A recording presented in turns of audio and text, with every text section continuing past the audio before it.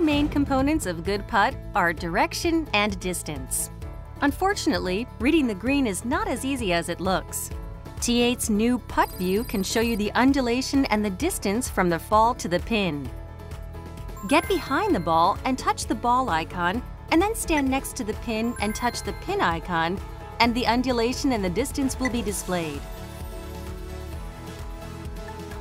You can also zoom in and out from the putt view by tapping the plus and minus and navigate around the green by dragging a point on the screen.